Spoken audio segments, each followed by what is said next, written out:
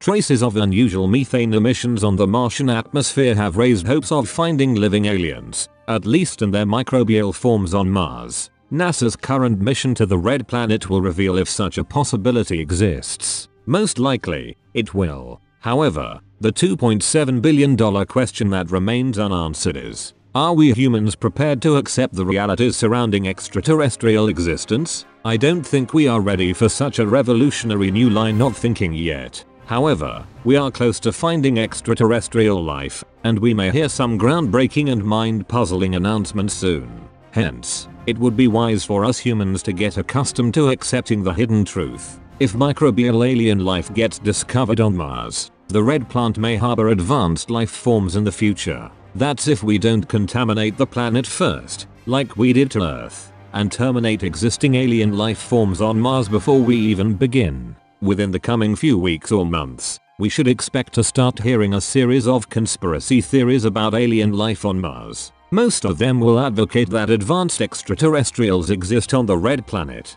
We might even be told that countries such as the United States, Russia, and China have already been working closely with aliens on Mars, and perhaps elsewhere. It has even been recently suggested that existing CIA documents could prove the presence of giant aliens on Mars and that the UFOs that are being spotted in north of Miami's and North Carolina's night skies are real. Perhaps it would be wise to dismiss all this nonsense unless you are one of the few who are fascinated by aliens and addicted to conspiracy theories and fake news. Nevertheless, Prepare yourself soon for upcoming announcements that some Earth organisms could temporarily survive on Mars and that this could have significant implications for space travel. Such announcements are going to be hugely important as such microbes may help space travelers produce food and material supplies independently from Earth, which will be crucial when far away from home.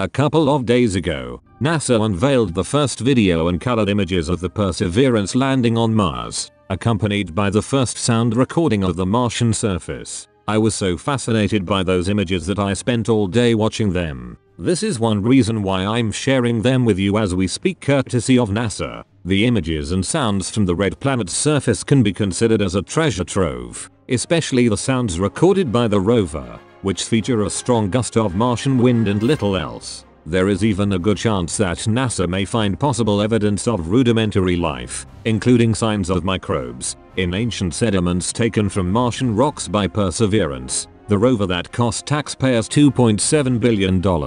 The specimens would be the first collected by humans from an alien planet. NASA's newly released video chronicles the final minutes of the rover's entry, descent, and landing on the red planet on the 18th of February as the spacecraft plummeted, parachuted, and rocketed toward the surface of Mars. A microphone on the rover has also provided the first audio recording of sounds from Mars. From the moment of parachute inflation, the camera system covered the entirety of the descent process, showing some of the rover's intense ride to Mars' Jezero crater.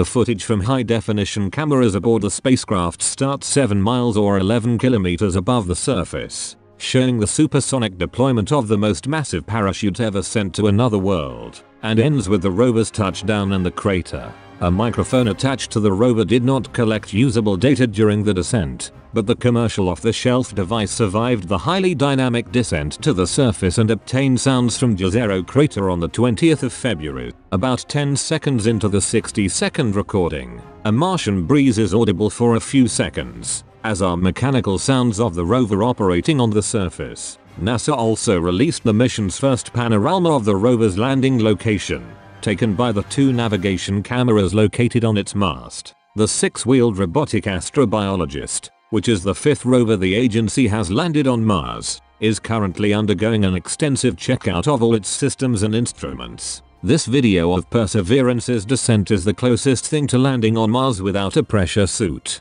The world's most intimate view of the Mars landing begins about 230 seconds after the spacecraft entered the red planet's upper atmosphere at 12,500 miles per hour or 20,100 kilometers per hour. The video opens in black, with the camera lens still covered within the parachute compartment. Within less than a second, the spacecraft's parachute deploys and transforms from a compressed 18 by 26 inch or 46 by 66 centimeter cylinder of nylon Technora, and Kevlar into a fully inflated 70.5 foot wide or 21.5 meter wide canopy, the largest ever sent to Mars. The tens of thousands of pounds of force that the parachute generates in such short period stress both the parachute and the vehicle. In NASA's scientific jargon, this is referred to as the 7 minutes of terror while landing on another planet. Indeed, it is. From the explosive opening of the parachute to the landing rocket's plume sending dust and debris flying at touchdown,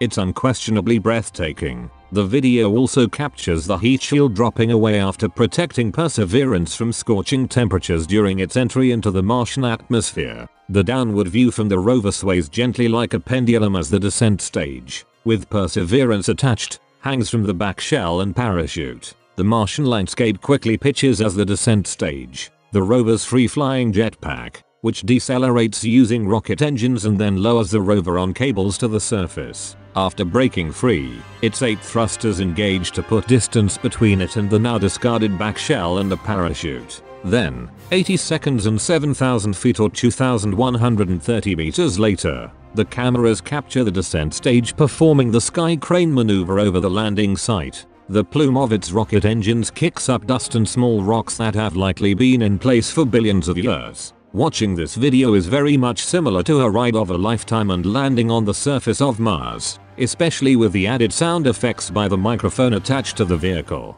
which enhance the viewing experience. The footage ends with Perseverance's aluminum wheels making contact with the surface at 1.61 miles per hour or 2.6 kilometers per hour and then pyrotechnically fired blades sever the cables connecting it to the still hovering descent stage. The descent stage then climbs and accelerates away in the pre-planned flyaway maneuver. The whole thing looks and feels like an old western movie with a younger Clint Eastwood riding his horse slowly into the setting sun. More about the Perseverance mission right after this.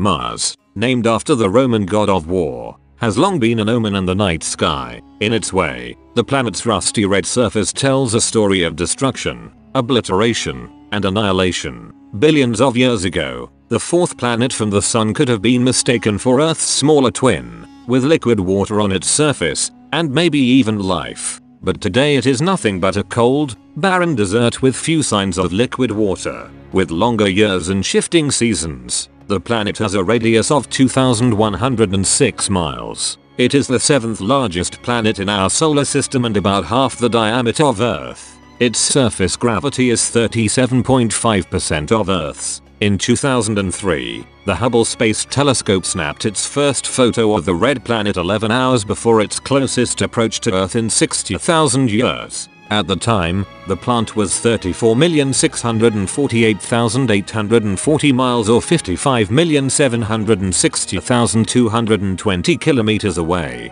The next closest approach will be in the year 2287. Years ago, scientists discovered patterns and landforms on Mars that they first wrongly ascribed to a bustling Martian civilization.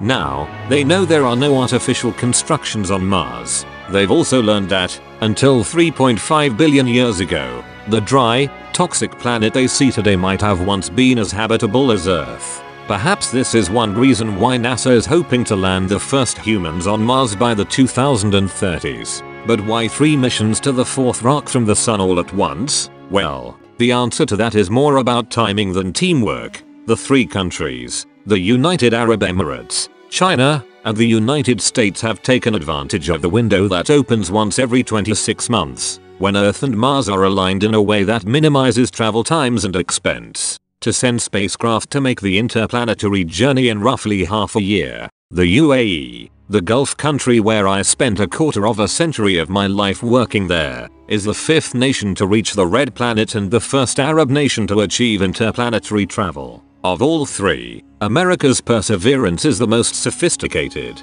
a large, six-wheeled rover equipped with a suite of sophisticated instruments. Its target is Jezero crater, where nearly 3.9 billion years ago, a wayward rock slammed into Mars, punching a 45 kilometer wide hole into its surface. It is a site of an ancient river delta, and a likely location for ancient life forms to have thrived. It is also an area of Mars that was once much warmer and wetter, and perhaps even more livable. Among the rover's many goals is helping to determine whether Mars was, or is, inhabited, making it a true life-finding mission. The Jezero crater is a very old part of Mars and the reason NASA chose it is because in the previous periods they thought Mars could have been habitable.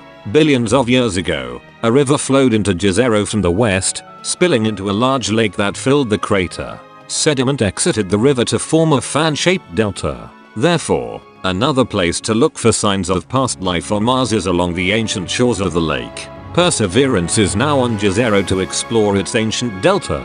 Its goal is to look for organic matter in the delta's rocks, which could indicate whether microbes or other life forms once thrived in the region. On Earth, deltas such as that of the Mississippi River hold huge amounts of organic material, the decaying remnants of plants, and other matter from farther upstream.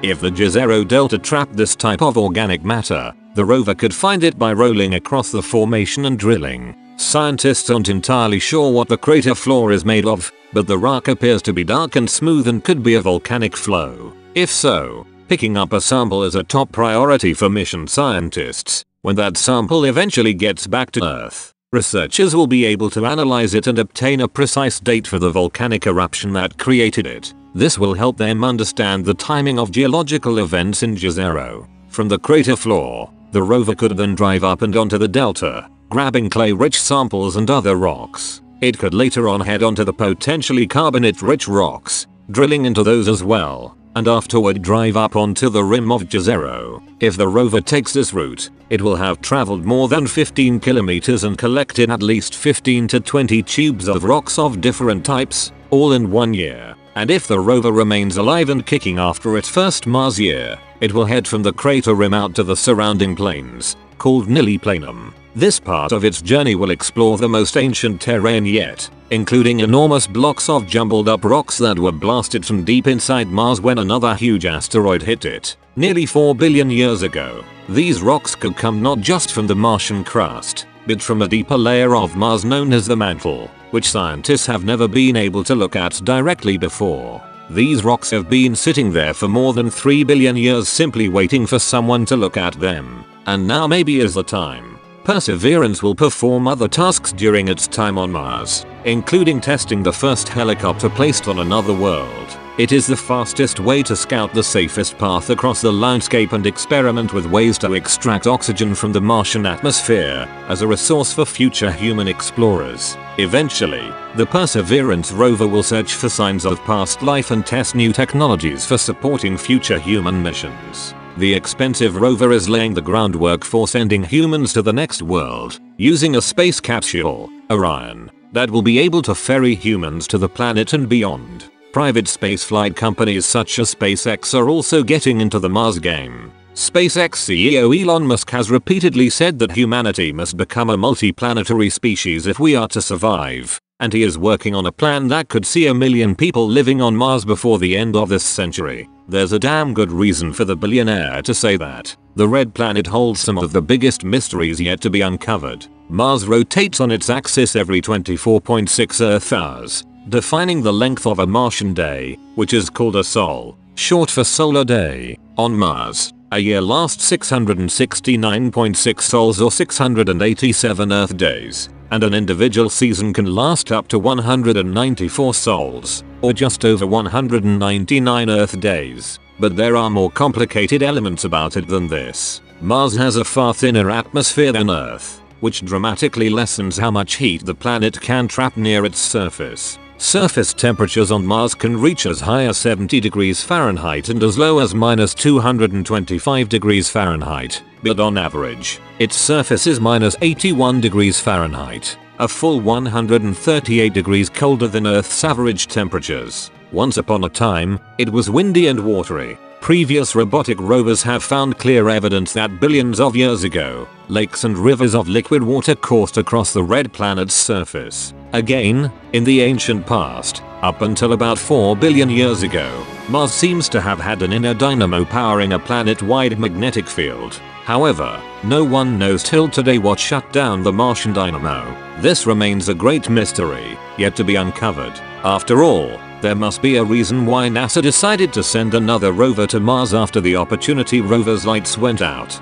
They must have seen something that they're keeping secret. Otherwise, why would three countries spend billions of dollars to venture out there in just under 6 months? This puzzle is yet to be solved. But although Mars does not presently contain life as we know it, similar conditions have been found on Earth, particularly in Antarctica. One of the top 10 strangest places where life is found on Earth and where shrimp and other sea creatures live. Till this very day, no scientist on Earth knew how and why the early habitable Mars transformed to a modern Mars with a harsh, cold, and dry environment. But what scientists do know is that it's possible that the environment just below the surface of the red planet was habitable much longer than the Martian surface was. It's possible that these conditions could have once been home to life on Mars knowing that there are organisms that do like salt water. However, the present day conditions are likely too salty to be habitable. On the surface, Mars presents itself as a world on the verge of inhospitality,